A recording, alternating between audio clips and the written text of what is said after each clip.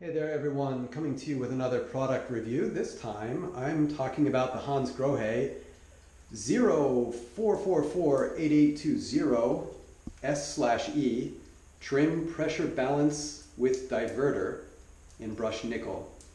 Now you should know that this trim will not work with any other valve system other than the Hansgrohe uh, iBox.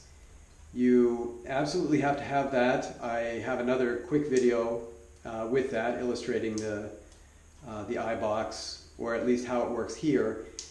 And you, you absolutely have to have that. It's not inexpensive. This is not an inexpensive setup, but we absolutely love it.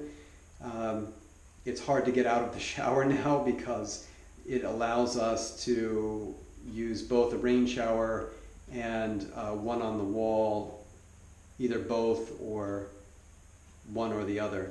Um, it has about 6.5 gallons per minute flow, which is great, and it comes out at about 45, 44, 45 uh, psi, which is uh, fantastic.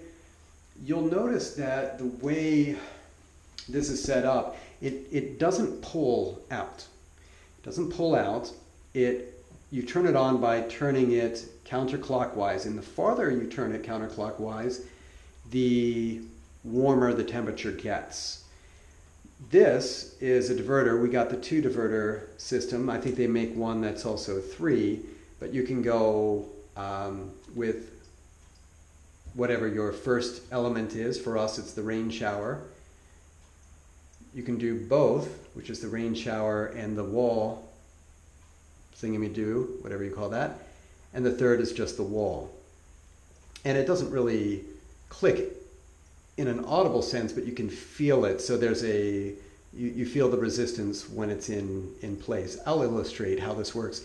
One thing I do want to pull, point out, you'll see that there's a little hole here and here. Um, when our plumber set this up, we noticed that it didn't quite get as warm as we would have liked. And so this was just a quick adjustment. There's an Allen wrench, took an Allen wrench, adjusted this, this came right off. And inside there is a, a regulator or a stop that you can adjust. So if you want it hotter, you can do that. I think for safety reasons, they have it set at a, you know, 100, 110 degrees or something like that. But if you like 120 degree showers, then um, you'll want to make that adjustment. Okay, that said, let's see it in action. I will start out with, oh, we'll start out with the rain shower. Okay, so I'm gonna turn it on. Whoop, uh, never mind.